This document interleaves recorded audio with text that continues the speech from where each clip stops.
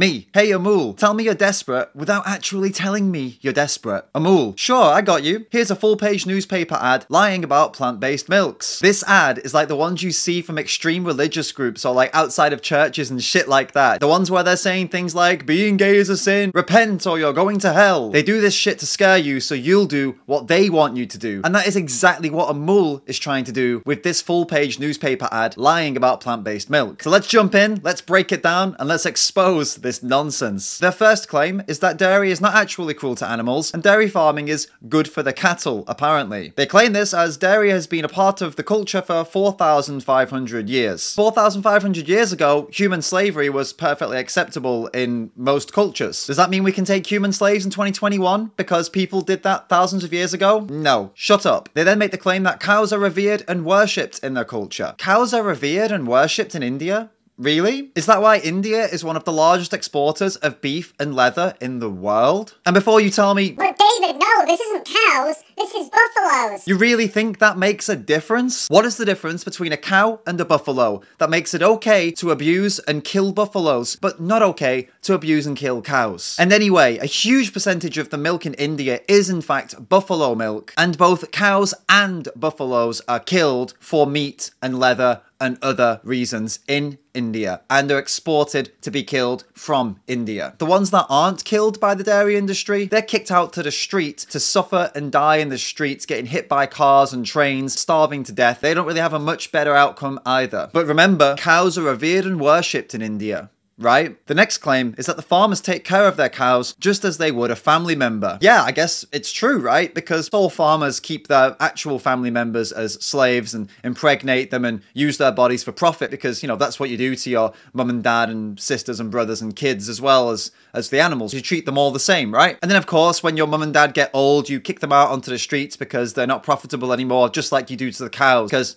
yeah, they're just like family members, treated the same, right? And finally, there's the claim that only the excess milk beyond the calf's dietary requirements is taken, so no calf is actually deprived of their mother's milk. Cows don't just walk around with too much milk, humans made it this way. The only reason a cow would produce excess milk is if they had been bred, selectively bred to do that, or if they'd been given hormones to produce more milk. There's no evolutionary benefit for a cow to produce too much milk, it would hurt them, it would make them sick. And yes, calves are deprived of their mother's milk in dairy farms. Here's a video that I took myself myself in a dairy farm in Mumbai where a calf is literally dying of sickness and starvation because they have been deprived of their mother's care and, of course, of their mother's milk because the farmers wanted to sell the milk to you.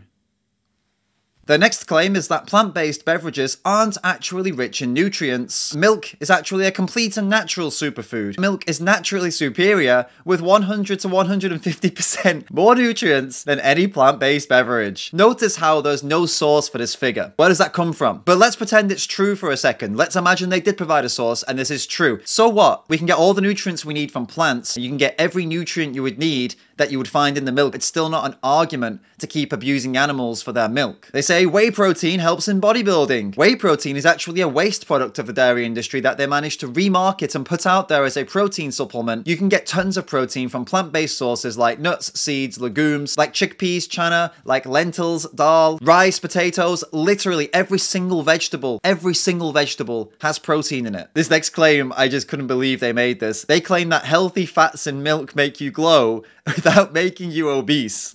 what the fuck kind of nonsense is this? Milk and the things that milk is used to make, like cream and cheese, these are absolutely making people obese. These are absolutely causing loads of health issues in people. But even if milk did make you glow and didn't make you obese, it's still not an argument to abuse animals for it. You can get all the nutrients you need without consuming milk products. Then they talk about good old calcium for bone strength. Milk is actually a pretty poor source of calcium compared to other plant-based sources of calcium that you can get, like the ones that I'm showing on the screen right now. You can get plenty of calcium from plants. You don't need to get it from the breast milk of other animals. Lactose, this lactose, apparently lactose is good for brain development and it's only found in milk. And this, this is actually the funniest thing on this whole newspaper ad. Why? Because yes, Lactose is an essential part of a developing brain for babies that are breastfeeding from their mother. Lactose is found in human breast milk. You don't need to drink breast milk from cows to develop your brain. You only need this when you are a baby.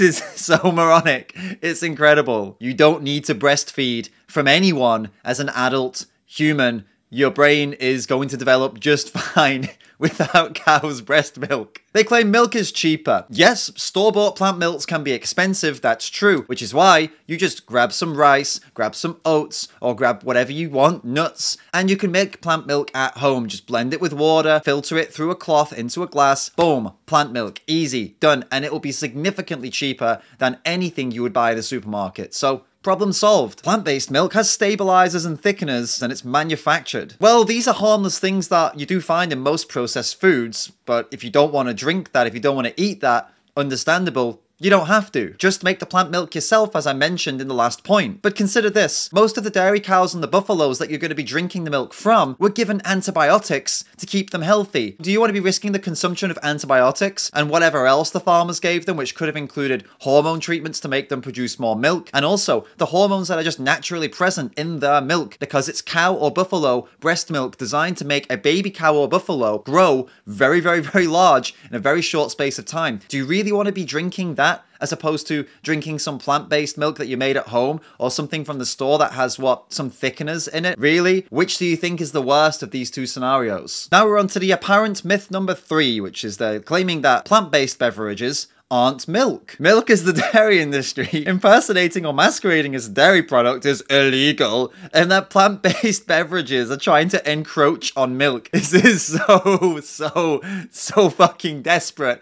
Oh, it hurts. When you're losing the battle, you're losing the argument, so you resort to semantics to try and win it. Semantics, really? You're gonna, you're gonna argue about the use of the word milk here? Amul, did you ever have a problem with coconut milk? How about the herb milk thistle? Milk of magnesia? Or are you gonna going to go after Game of Thrones next because they called one of the things in the series Milk of the Poppy.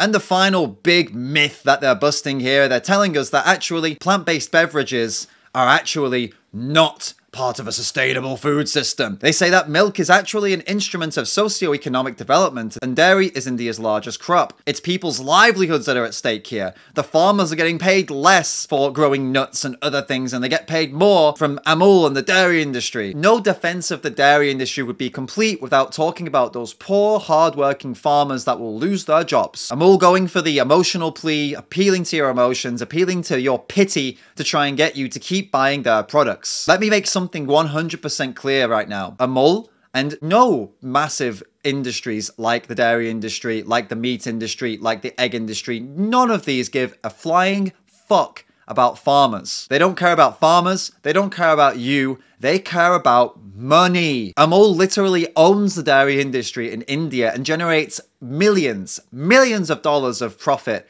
every year from it. Why do you think they put out this ad? It's not to help you, it's not to help the farmers. It's to help Amul keep making dollar, keep making cash. Don't fall for their bullshit. They don't care about the farmers. And finally, they try to play on the nationalism of Indians by saying all dairy is made in India, whereas most plant based beverages come from imported products that come from outside of India, like almonds and oats and things like that. It doesn't matter. As a global community, a global marketplace, we exchange the things that we want from other countries and they take things from us. And this is nothing to be ashamed of. This is not something bad or evil like Amul is trying to play here. They're trying to play on your nationalism, your sense of patriotism, like India is the best, to make you buy their product. Don't fall for their bullshit. Send this video to anyone that you know who saw the ad. I think this would be really good for them to hear and see. I think everyone needs to see this. If you enjoy my videos, check out the Patreon team and become a member. You'll get access to exclusive previews as well as other exclusive content. Don't forget to hit that subscribe button because then you'll keep getting access to all of the free content. Check out the website davidramms.com to pick up some cool merchandise just like this as well. It's all up there right now. Thanks so much for watching. See you in the next one.